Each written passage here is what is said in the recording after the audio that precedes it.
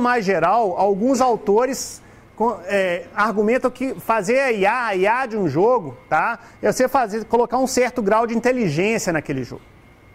Tá? Agora, esse grau de inteligência não necessariamente precisa de ser uma inteligência, um algoritmo extremamente sofisticado de inteligência.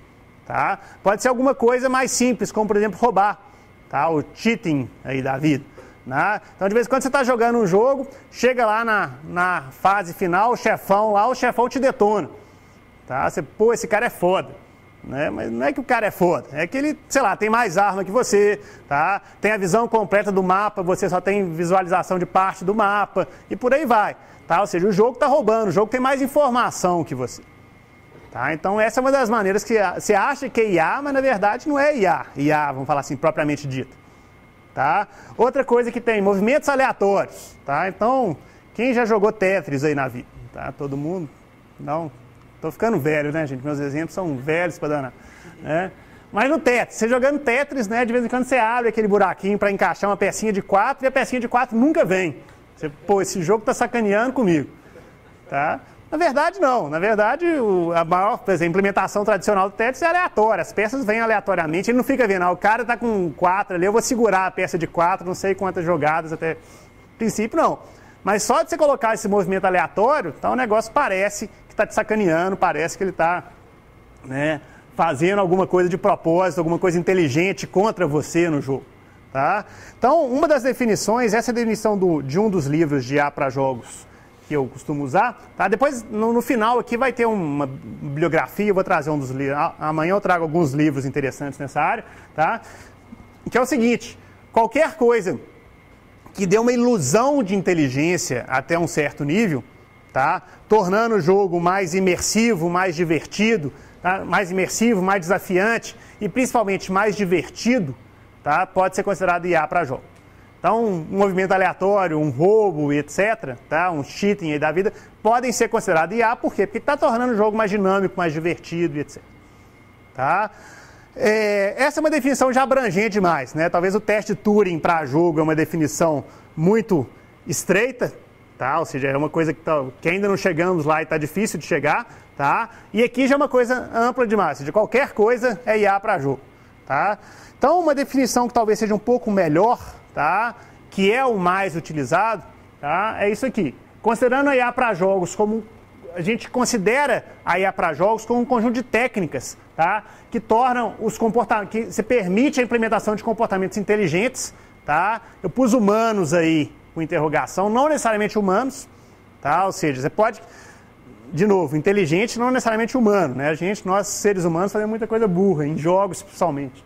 Tá? Então, você, mas de qualquer forma, você tentando fazer comportamentos inteligentes no jogo, o foco da IA para jogos, tá? E, é o que é feito na indústria, na maior parte, né?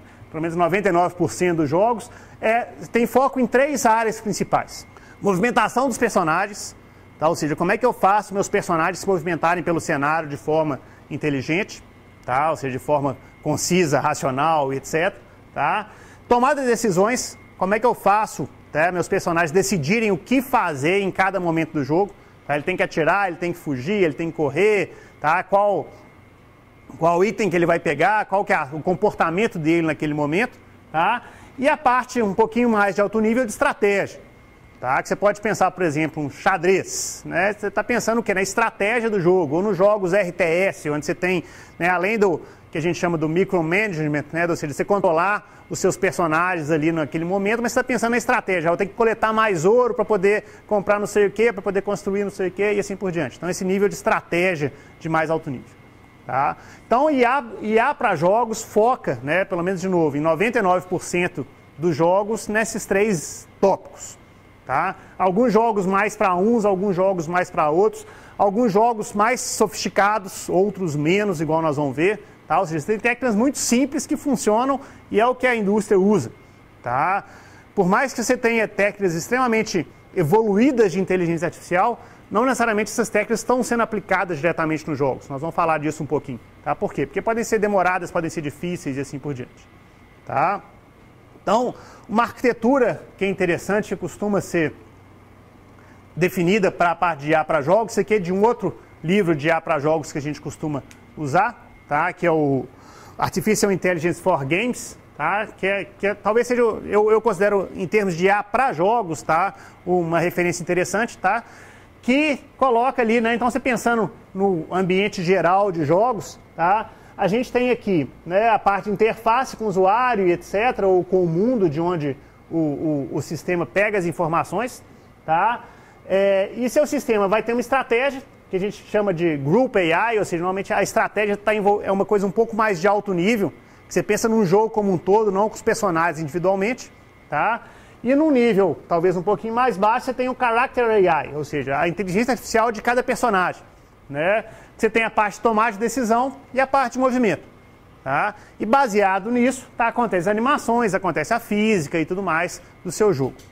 Tá? Então a ideia é que a inteligência artificial participe dessas duas, nesses, participe nesses três níveis, desculpa, nesses dois níveis, tá? mas nessas três tarefas. Então no nível mais alto, que é o nível de estratégia, tá? e no nível mais baixo, começando a pensar em personagens especificamente, tá? tanto para tomar de decisão quanto para movimento.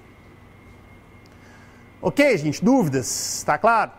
Tá? Então, nesse curso aqui, nesse minuto curso, vai acabar que eu vou focar um pouco nessas, nessas áreas. Falar, nem estratégia eu vou acabar não falando tanto, mas eu vou falar principalmente da parte de movimento, vou dar exemplificar para vocês, falar um pouquinho sobre como é que é a movimentação, dar alguns exemplos de, de algoritmos de movimentação, tá? E depois eu falar um pouquinho de algoritmos de tomada de decisão, tá? Como é que ele, o, o, o sistema faz, é, quais são os principais algoritmos para você tomar decisão dentro de jogo. Então vamos lá. Antes de entrar exatamente na parte de jogos específicos, eu acho interessante falar um pouquinho sobre o conceito de agentes inteligentes. Na verdade, eu vou falar mais especificamente sobre o conceito dos ambientes no qual esses agentes estão, estão envolvidos. Tá? Porque quanto mais complicado for o ambiente, mais difícil vai ser, mais sofisticados vão ter que ser os algoritmos para lidar com aquilo. Tá? Então nós vamos chegar lá daqui a pouquinho. Então essa definição eu já passei para vocês, tá? Que um, um agente é uma entidade que percebe o ambiente e age nesse ambiente que está em volta dele, tá? E normalmente você faz isso da seguinte forma, tá? Isso aqui é um desenho lá do, do livro do Russell 9. Você tem, de um lado aqui, seu agente, tá? Seu agente tem um conjunto de sensores. Esses sensores pegam as informações do ambiente, a gente chama essas informações de percepts, tá? Então, a, entrada que vem para o agente em um determinado momento, a gente chama de percept, tá? Esse agente vai processar esses percepts de alguma forma, tá? daqui a pouco a gente fala disso, como é que é feito, e ele vai agir nesse ambiente. Tá? Então ele vai ter os atuadores aqui, que desenho tem braço e perna, mas o atuador vai ser a ação desse agente no ambiente. Tá? Então ele vai ter as ações que vão agir, nesse, vão executar alguma coisa, vão modificar o ambiente de alguma forma. Tá? Então essa é a ideia geral de um agente e na verdade, o que, o agente faz? Ele vai fazer, ele vai ter uma função que faz o mapeamento entre os percepts e as ações. Tá? Então, né, igual qualquer sistema computacional, você tem entrada, seu sistema faz alguma coisa e ele gera uma saída. Tá? Só que no agente você tem essa questão mais né, sensorial e de atuação aí que a gente costuma falar. Tá? É, essa função, em geral, né, é implementada por um programa. Então você vai ter um programa que vai rodar na arquitetura daquele agente, que a arquitetura envolve os sensores que ele vai ter, os atuadores que ele vai ter e etc. Tá? E esse programa vai ser mais ou menos complexo de acordo com o ambiente. Tá? Ou seja, se for um ambiente completamente conhecido, completamente determinístico, nós vamos dar essas definições daqui a pouquinho. Ou seja, eu sei, eu penso no tabuleiro de xadrez. Tá? Tabuleiro de xadrez, você tem a visão toda do tabuleiro, você sabe todos, onde estão todas as peças, tá? Você sabe que enquanto você está pensando, você está olhando lá para o tabuleiro de xadrez, enquanto você está pensando sua jogada, nada acontece, tá? Ninguém vai mexer uma peça no meio do caminho, tá? Então é um ambiente teoricamente mais tranquilo de você trabalhar, tá? Agora pensa você vai fazer um carro autônomo, né? Esse exemplo que eu já usei. É, você tem um sistema que é um mundo desconhecido, você, você Pode até ter um mapa do ambiente, mas de repente, sei lá, a, a Antônio Carlos ali foi fechada por um acidente. É dinâmico, você não, você não tem controle sobre isso. Tá? É, pode aparecer um pedestre à sua frente, né? e por aí vai. Ou seja, você não conhece seu ambiente, seu ambiente é dinâmico, tem muita incerteza, então é um ambiente muito mais complicado. Você fazer um software, então, um sistema, um agente, para controlar um carro autônomo, é muito mais difícil você fazer um agente para jogar xadrez. Tá? Por quê? Porque os ambientes onde esses agentes estão inseridos é completamente diferente. Tá? Então, falando um pouquinho sobre os tipos de ambiente, tá?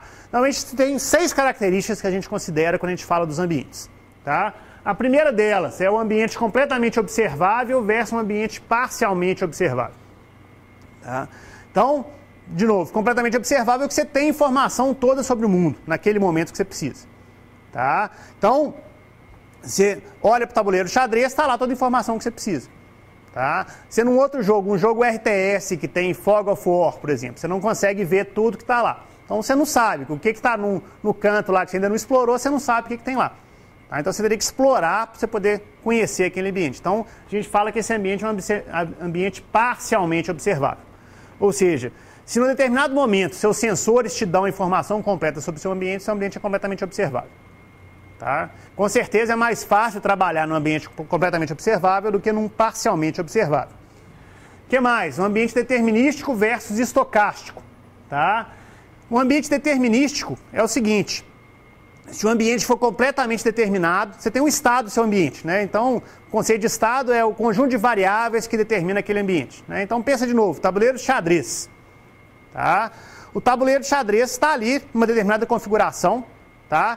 A próxima configuração do tabuleiro só depende o quê? Da configuração anterior e da sua ação. Nada mais interfere no seu tabuleiro de xadrez. Tá? É diferente, por exemplo, de novo, de um, de um ser humano, né? sei lá, você faz um, um, um robô tá? que vai explorar um prédio, mas de repente o prédio pode desabar.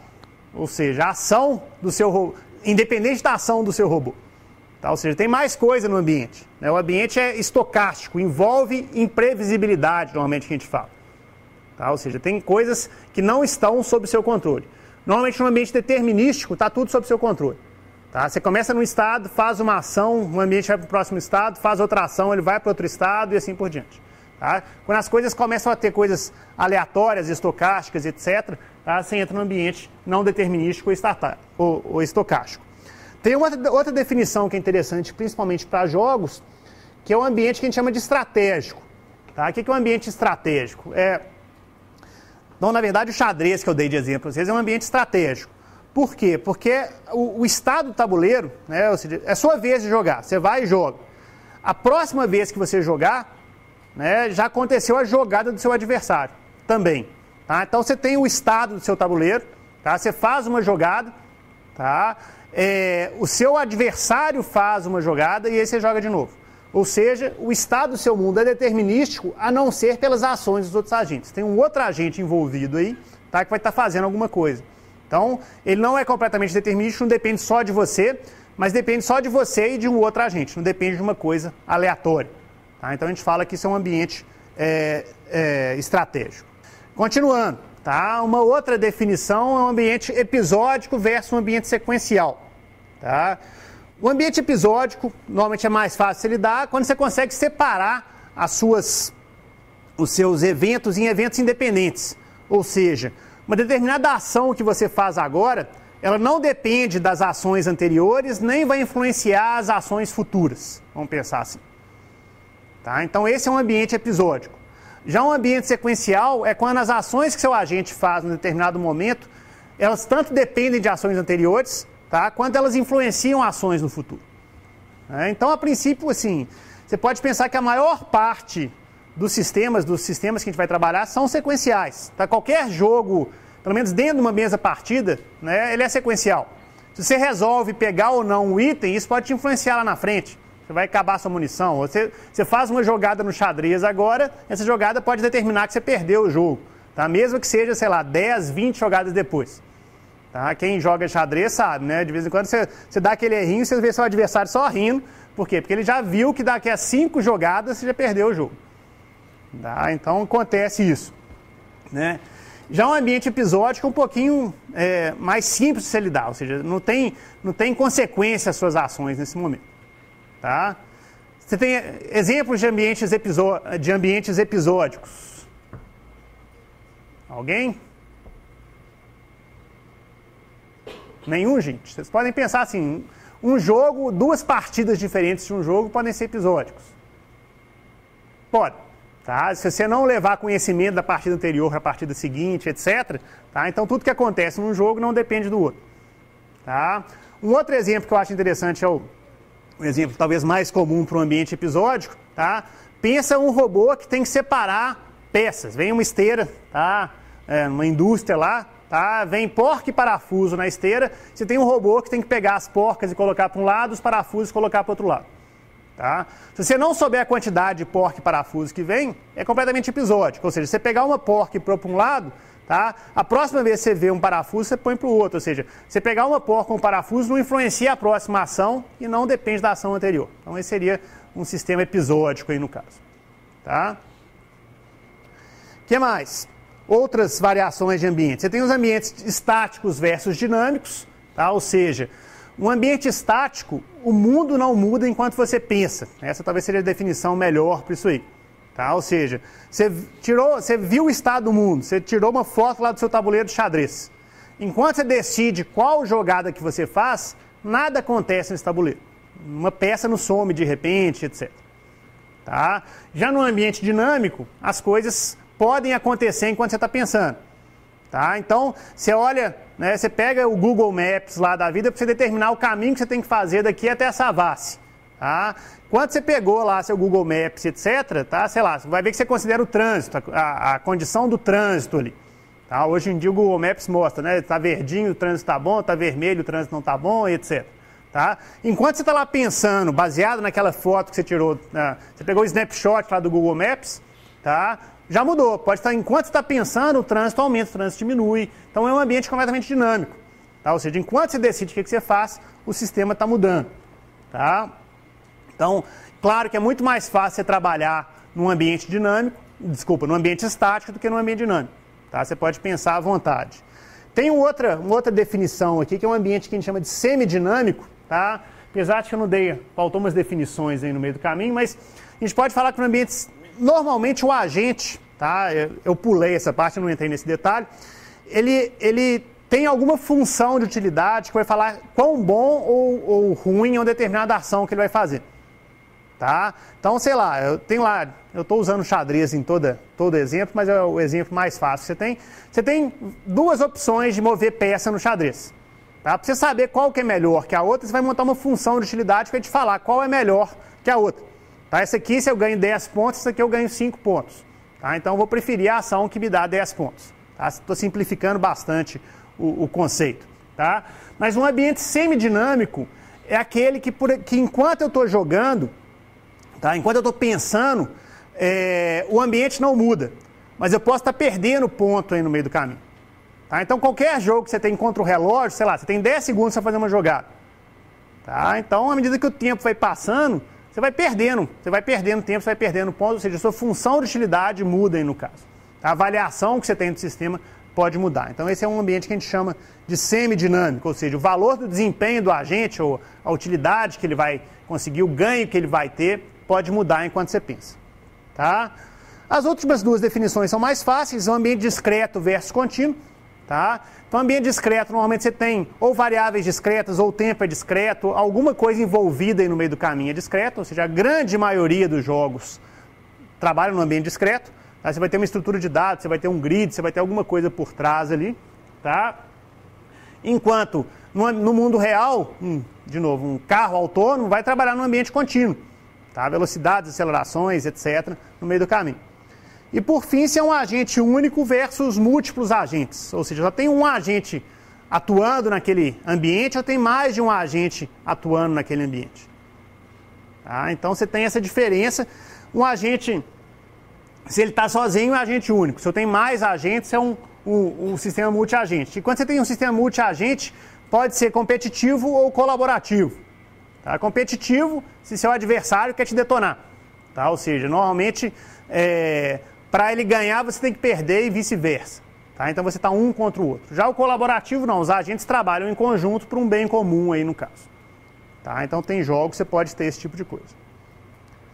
Ok? Então, quanto mais complexo o ambiente, tá? então ambientes que são, vamos falar, parcialmente observáveis, estocásticos, sequenciais, dinâmicos, contínuos e multiagentes são muito mais difíceis do que um, um ambiente que é ao contrário, tá? agente único, discreto, estático, episódio determinístico e completamente observável.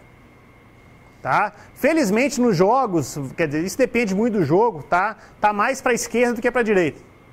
Tá? Mas no mundo real tá mais para a direita do que para a esquerda aqui, né? Pensando em direita e esquerda aqui, tá? Então, o mundo real é parcialmente observável, é estocástico, é sequencial, tá? É dinâmico, é contínuo e é multiagente. Por isso que é muito difícil fazer agentes para agir no mundo real.